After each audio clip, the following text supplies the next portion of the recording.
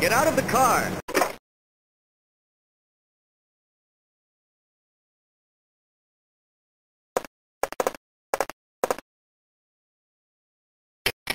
You're under arrest. Listen up, Tracy. You've got the wrong man.